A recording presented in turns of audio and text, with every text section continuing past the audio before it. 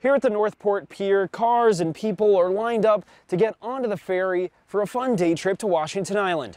But Thursday night, what Door County Sheriff's Office is calling a fatal accident.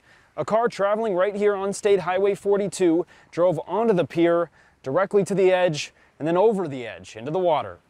Around 7:20 p.m. Thursday, an SUV drove past the ticket booth, down the center of the pier to the end, and then tipped forward over the edge into Lake Michigan. From what I saw the video, the brake lights were on and then the vehicle went down. So uh, I don't exactly know like how fast or at what angle or whatever. Door County Sheriff's Office Captain Carl Waterstreet says the one person in the car died.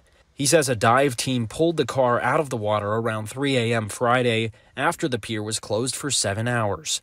Longtime Washington Island local Corey Anders says the water below the ferry dock is deep.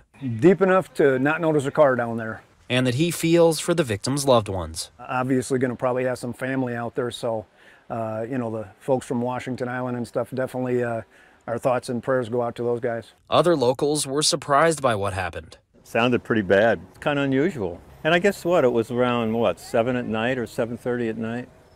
So it was uh, wasn't like 3 a.m. or something. Deputies say people have driven off piers before and to stay vigilant. Just be careful at night while you're driving. Uh, just pay attention to your surroundings the best you can. The sheriff's office says it's awaiting information from the Brown County Medical Examiner's office before it releases additional details into the investigation. In Door County, Carl Winter, NBC 26.